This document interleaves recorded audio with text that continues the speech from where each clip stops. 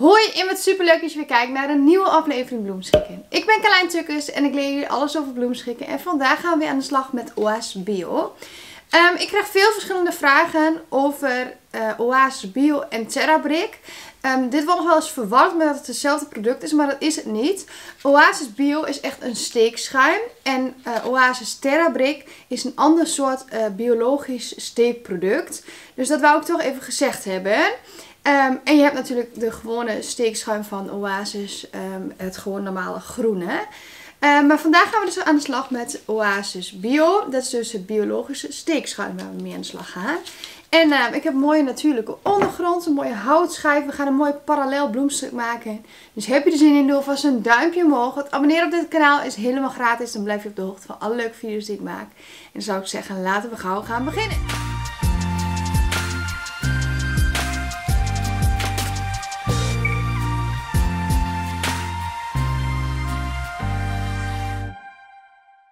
Wil je ook met dit pakket aan de slag? Hieronder in de beschrijving vind je een linkje waar je het complete pakket kan bestellen. Of ga naar www.uonlinebloemist.nl. Daar vind je het onder kopje cursuspakketten.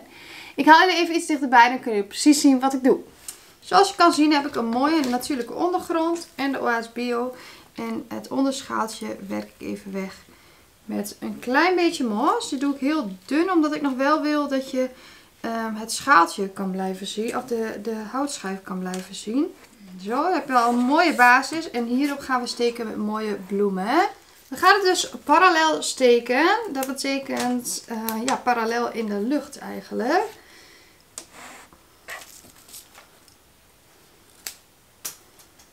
Dus de stelen gaan allemaal één kant rechtop. En ik geef alles een mooie plek in het stuk. En ik zorg dat alles mooi tot zijn recht komt. En dit doe ik met mooie sterke materialen. Die mooi passen bij de ondergrond. En zoals je ziet zet ik alles ook een klein beetje uit elkaar. Zodat je er elke keer doorheen kan blijven kijken. Zo hou je het mooi luchtig. En uh, krijg je een heel mooi speels effect.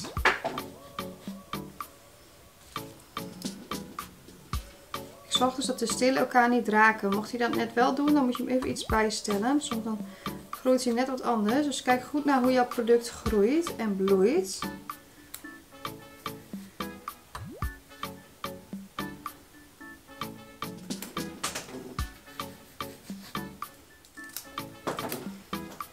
Ik gebruik nou eigenlijk allemaal stelen die eigenlijk geen blad hebben.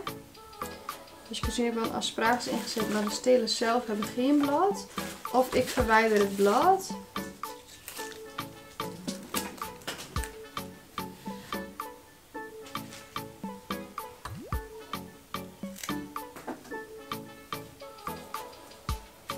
En hier doe ik er wat lager in.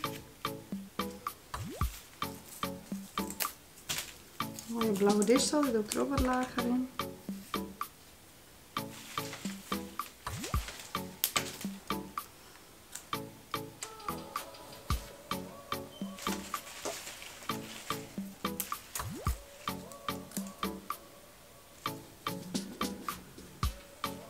En zoals je kan zien krijgt alles echt een eigen plekje in het stuk.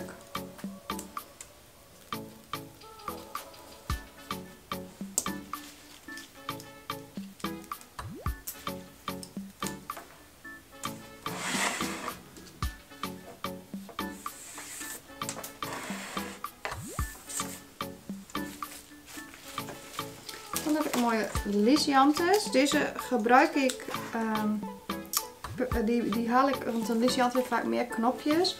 Maar die, die splits ik dan, zodat je mooi die uh, subtielheid in het stuk houdt.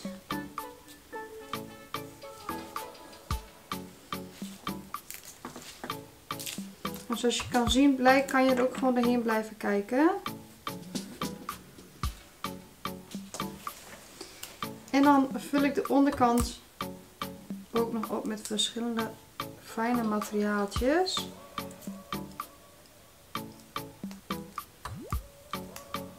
Want we willen natuurlijk niet dat het steekschuim zichtbaar is.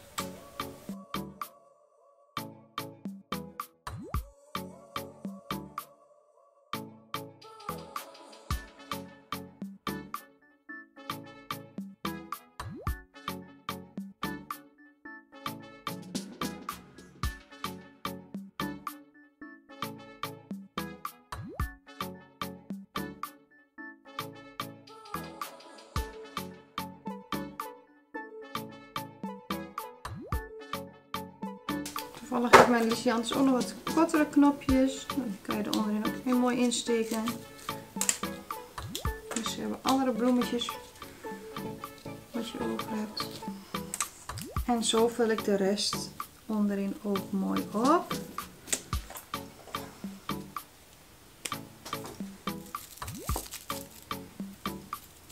En doordat we werken met die hoogtes krijg je echt mooi diepte in het stuk. Ja, en krijgt een heel mooi speels effect. Een mooie eucalyptus, die werkt er kort in. Het grijzige past mooi bij de kleuren. En je kan dus gerust uh, eucalyptus splitsen. Als je maar net boven het blaadje het afsnijdt, dan kan je dit deel ook nog weer gebruiken.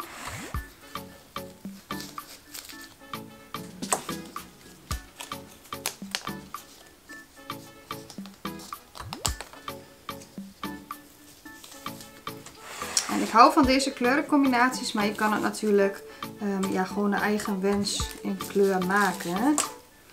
Ik vind het heel mooi bij elkaar.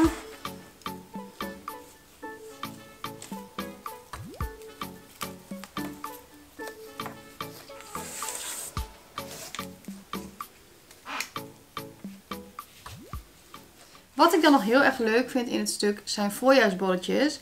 Heel erg leuk dat we die tijd nu weer ingaan. Want het geeft een mooi fris effect. En we hebben daar toch alweer zin in, merk ik. Um, fooiasbolletjes kan je prima verwerken in een mooi bloemstuk. Wat je dan doet is je haalt het zand eraf. Je kan eventueel de worteltjes eraan laten en die schoonspoelen. Je kan ook de hele worteltjes afhalen. Ik prik het voorzichtig op een satéprikker en dan kan je het verwerken in het stuk. Het leuke is als dat nog meer gaat bloeien in zo'n stuk, dat het ja, eigenlijk nog meer uh, ja, voorjaar is. Dus dat ga ik ook met dit stuk doen. En die stop ik er dus onderin Ehm, tussen de bloemetjes in. Heel leuk, want daarmee bedek je de onderkant. Maar je houdt wel het speelse effect van het bloemstuk wat we nu hebben gemaakt. Dus ik ga schoonmaken en dan ga ik ze verwerken in het stuk.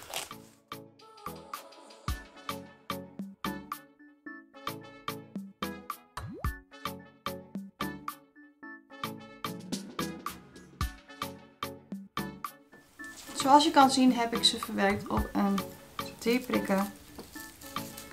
En dan kan je er dus fijntjes bij tussen stoppen.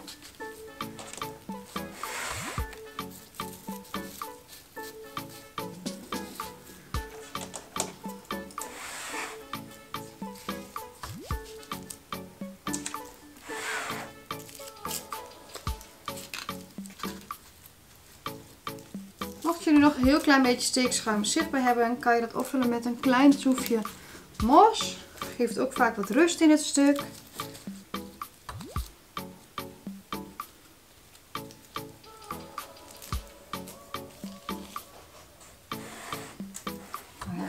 toch echt een plaatje. En dan hebben we een prachtige parallelschikking. Uh, als je iets verder bent in het jaar, dan kan je er eventueel wat kwatto eitjes aan toevoegen. Al krijg ik daar nu ook al veel vragen naar. Dus mocht je dat willen, zou je her en wat kwatto eitjes bij tussen kunnen doen. Maar het is toch een plaatje. Heel leuk om op deze manier met producten te werken. En ook te kijken van hoe komt een product mooi tot zijn recht.